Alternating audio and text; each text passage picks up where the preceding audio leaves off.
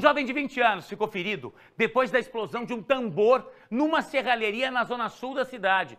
Ele estaria soldando esse tambor, tá? E ele não sabia, olha o perigo, que tinha gás aí dentro. Ana Contato traz os detalhes.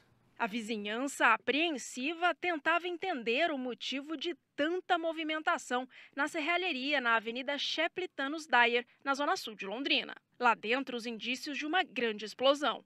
O tambor sem fundo e com a tampa estufada mostrava que a situação era grave.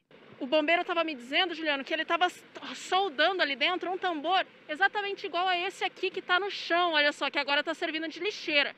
Ele estava soldando, só que esse tambor estaria cheio com um gás altamente inflamável e ele não sabia que estava soldando então este tambor cheio de gás e que no momento que ele colocou a solda, esse tambor explodiu no rosto dele, Juliano.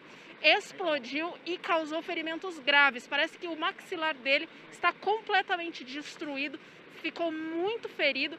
E aí, é, a primeira informação que chegou para os bombeiros também era de que esse homem teria ficado soterrado ou preso em debaixo de algumas ferragens ou de alguns escombros e foi por isso que o caminhão dos bombeiros também se deslocou, mas a princípio não, ele não ficou preso embaixo de nada. Foi uma informação equivocada que os familiares passaram aqui no momento de desespero. O jovem teve diversos ferimentos no rosto e precisou ser hospitalizado. Ele está consciente, está falando, está sabendo tudo o que aconteceu.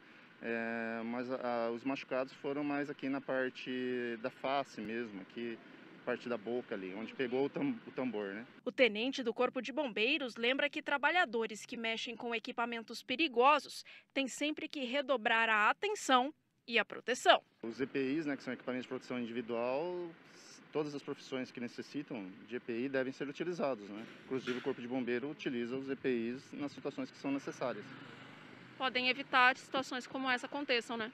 Com, com certeza, se não evitar, pode proteger, é, ter uma proteção maior, né, e minimizando, é, nesse caso, os ferimentos. 6 e 26 gente. Como é que está o estado de saúde dele? Você tem informações? Eu sei que ele foi socorrido para o hospital. Qual a situação dele?